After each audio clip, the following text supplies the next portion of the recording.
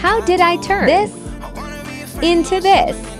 Let me tell you. First off, you're gonna start by not washing that thing. I mean, it came from your garden, right? Or in this case, maybe a stranger's garden that your husband brought home.